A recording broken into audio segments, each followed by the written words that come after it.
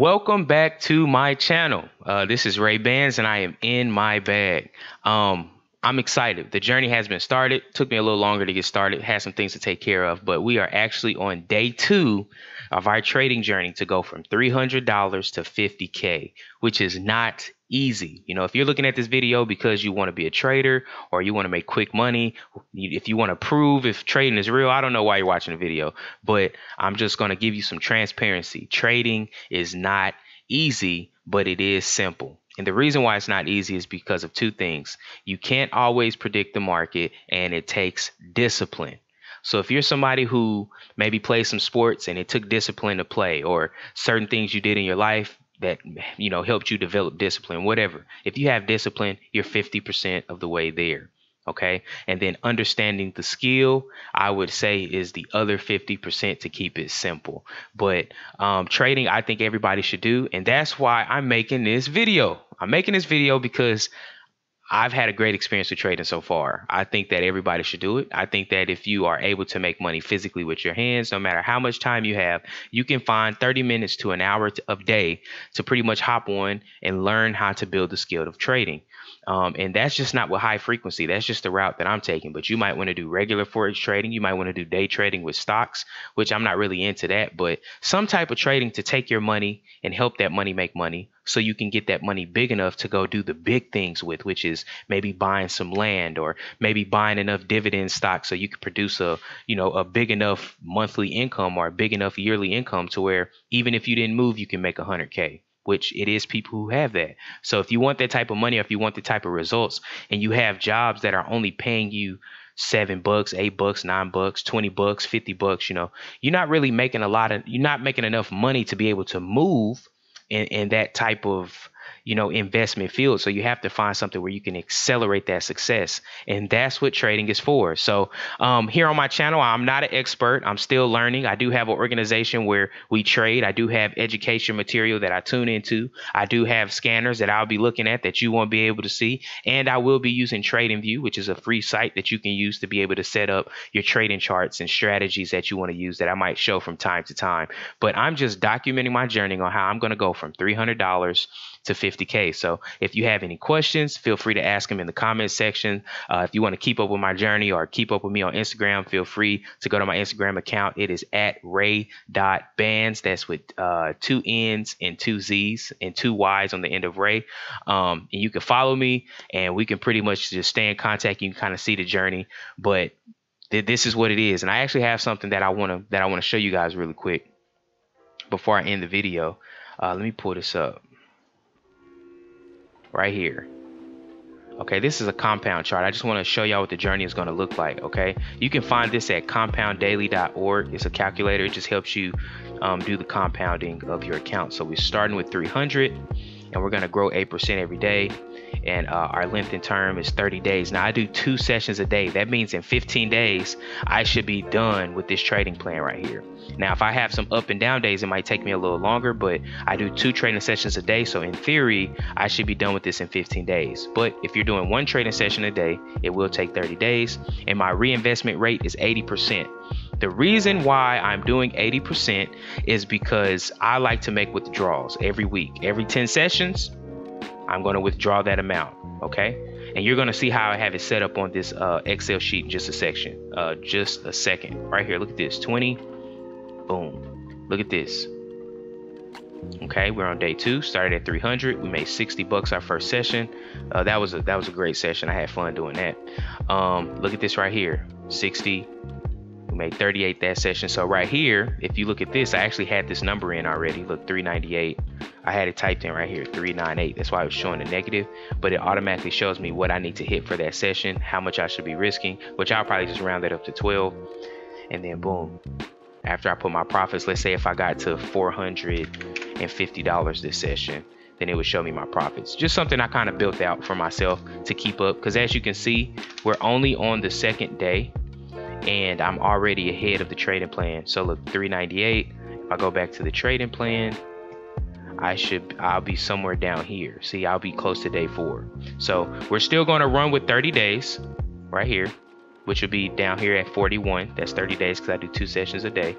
Um, and we're gonna see like like what's up like where we'll be at so i just wanted to give you guys uh, that insight to that also um, i'll let you see this is something that i look at right here give you some free sauce this is called the alligator strategy. There's plenty of videos that explains the alligator strategy, but everybody tries to put their own little theories with it. So I'm gonna just tell you what I use the strategy for.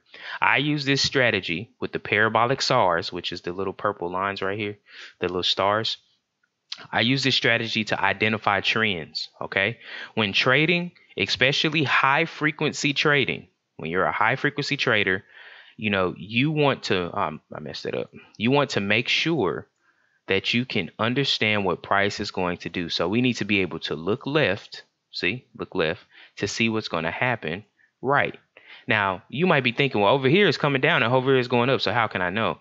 These little pink lines that I've drawn uh, drawn on this graph right here, you know, it shows me support and resistance. So at that particular time when I was trading, I noticed that in this area, it kind of bounced around a lot. You see that? I can actually, right here, I can add another one. So I'm going to go up here and boom. I know that once it gets in this area, it likes to kind of snap back and it just kind of plays. You can also call these points pivots, okay?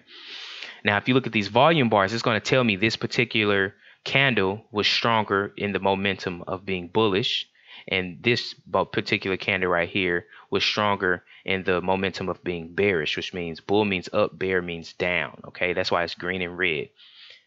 And as you can see, as I notice the pivots, you see what I'm saying? Look, if you want to learn how to read the alligator, it's really easy. This green line is going to be considered the lips. I believe the, the red line is the jaw. Uh, and then, no, I'm sorry, the pink line is the teeth, and then the blue line is the jaw. I think I have that right. Let me check that. I don't want to tell y'all the wrong information. Lips, teeth is the pink line, and then the jaw. Yeah, it just makes sense. It's like a real alligator.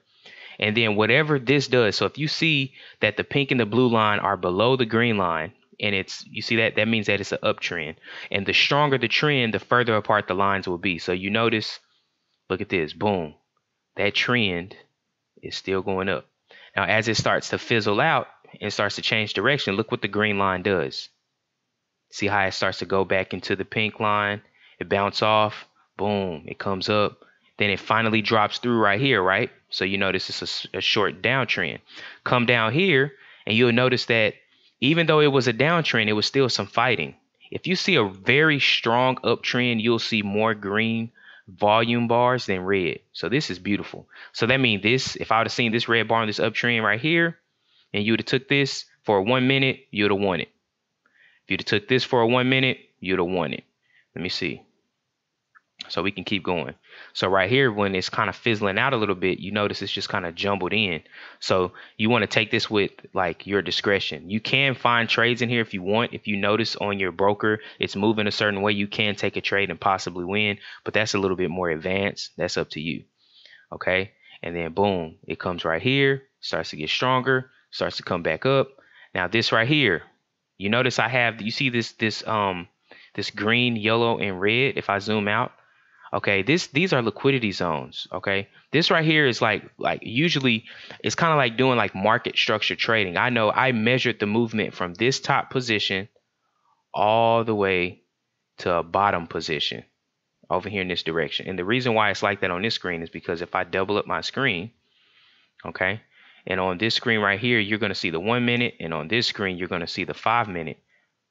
So on the five minute, that's what I marked. I marked this movement. You can see the black line. I took it from that top point and I went all the way to, at the time, the lowest point, which, okay, I guess was right here. So we're a little bit below. So boom. Now that's going to give me the, the, the, the market like averages. It's going to show me as far as like bank levels, what I should be expecting. So I know that it made this movement, right? So I'm expecting a pullback, which the pullback came. Once it goes back into this pullback level, it can kind of tell me if the trend is going to continue or not. So if it hits in this green level and it starts to go back down, it's still in a downtrend, okay? Yes, on the alligator, it went up, but I don't want to be fooled thinking, okay, it's an uptrend. It's, con- it's going to continue to uptrend, which I can catch some call trades, but, you know, it's possibility it can bounce. So I just wait. I don't rush. I don't rush and I wait. Once I start to see these parabolic SARs, which also identify trend, I just wait.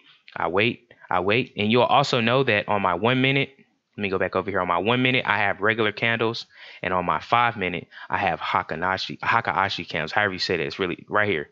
Hakanashi, right here. Those candles. I have those. They paint momentum. So when it comes up right here, you see what I'm saying? I noticed that okay, you know, it, it's kind of wicking a little bit, and then the next one it was a red. Hmm, patience. That's a that's a flat top. Patience. Once I would have got this second flat top right here on my five minute chart, okay, if you look at the one minute chart, look at what it's doing. It's right here. Okay. Right here. I'm looking for entries for a put. I would have just watched the way the market was moving. So that means by this candle right here, I probably would have been in a trade. And if we go over to the one minute, look at this. I would have got in a trade about right here. A one minute trade. Boom, boom. I don't like to roll over, so I like good entries. Boom. Won that trade one minute. It probably would have came back up again. I would have took that again. Boom. Now sometimes you can't get spiked. I probably would have caught a trade right here to win up. Maybe I would have got lucky, you know, and it would drop down just enough time, or maybe it would have been just uh, you know a little bit too much, and I'd have lost, and then it would have dropped. Sometimes that can happen, so you have to be patient. And if you're watching the broker, which let me show you what the broker looks like really quick. Okay, if you're watching this broker right here, we go to trading Okay. If you're looking at this and it's moving in a particular direction, come on, come up, come up. See, if it's moving in a particular direction, you can kind of tell like what you want to do. Like I don't try to mark like, okay, when it gets to 698, I'm gonna take a call or a put or whatever. I like to see the movement. So it's going and it might shoot up right here. And I know that I'm looking for a put in one minute. I'm gonna go ahead and take that because the probability of it continuing to drop is high depending on how I'm looking at my actual charts. See what I'm saying? So that's why I marked this right here because if it gets into this red zone, I know, okay, it's a possibility that if it breaks this zone, that it can continue to go up. And what will happen is, is it'll break the zone. It might come back and retest. So it'll break right here to come back and retest, and then it might continue to go up. But you see, it didn't do that. It came up in here, it hit that yellow level, and then it just continued to fall. Boom, boom, boom, boom, boom. See? And then continue to fall. So if you would have been looking for puts, the probability of you being good in your trade very, very high. We want to trade with the trend. Matter of fact, let me put my face back on the camera. Trade with the trend. That's why I have the alligator strategy on the screen. Okay. This strategy right here, let me take this down.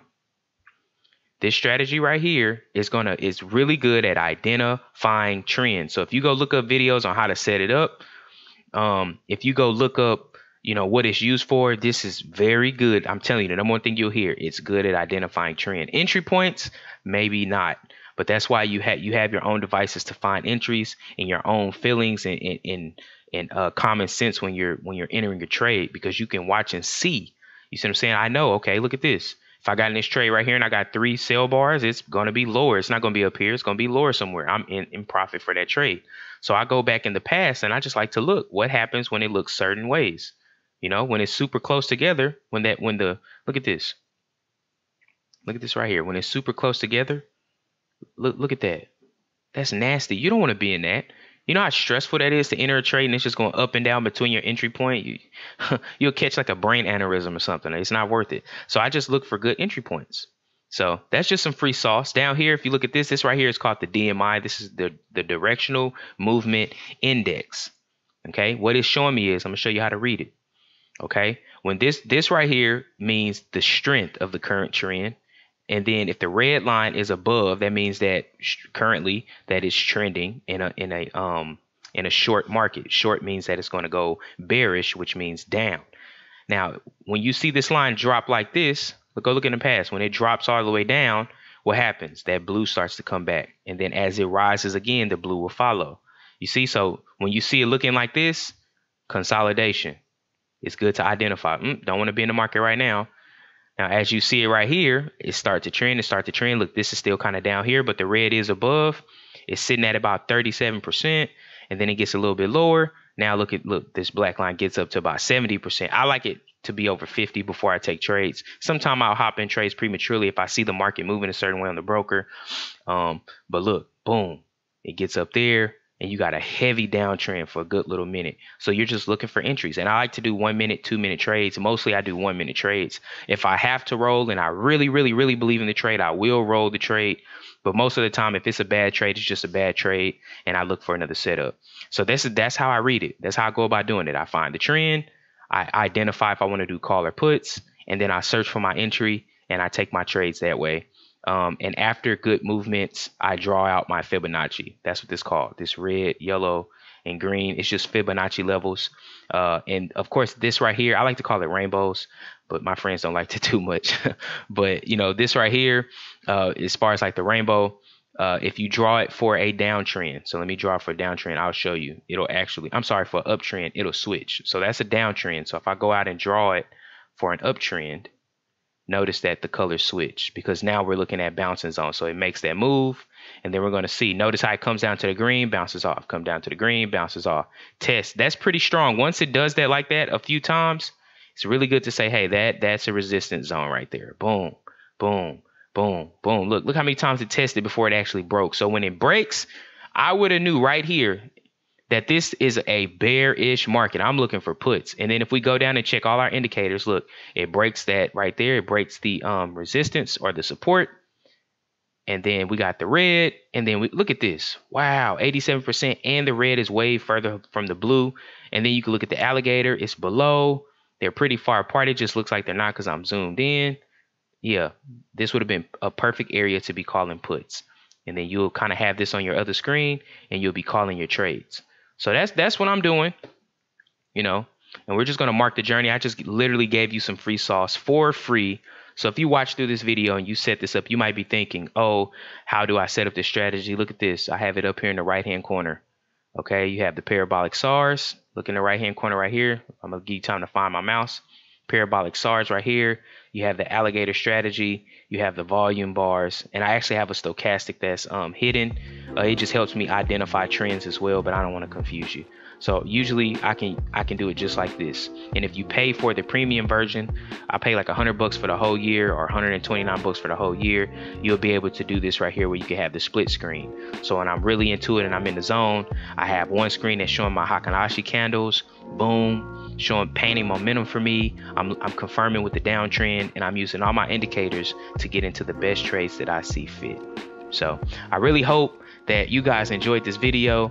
Um, you know, as my account gets bigger, um, I might even do like some live trade sessions on YouTube. Who knows? I don't even know if people will come across this video. I just know that I'm making it because I want more people to see that trading is really fun. Once you start to understand this, it's like you versus the market if you're like a beginner. But as you get more advanced, you realize it's you with the market.